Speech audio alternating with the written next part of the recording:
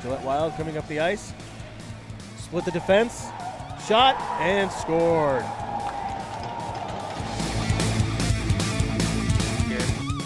And here's a two-on-one opportunity. The Wolves could extend their lead. What a move by Max Beste, and he scores! Max Beste with a beautiful move. He doubles the River Wolves lead.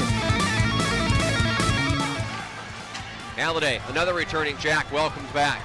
He comes up top of the blue line, right side, so he passes in front, top shot, they score! The aforementioned Jonah Jangula! It's 2-0, Granite City! Dick, back through the neutral zone, Fox with it. Here's Lien. Lien rather has control, top of the circle, right side pass shot, taken, rebound, he scores! Excellent chance in front. He beat Chance, and that was a perfect pass and a better shot. trying to clear it out. So Shura keeps it in, and that will go back into the corner. Comes to Walpert. Walpert to Warr, Warr with a shot and scores as Cord getting it off the pad and then directs it in. And Oklahoma City back on top, three to two.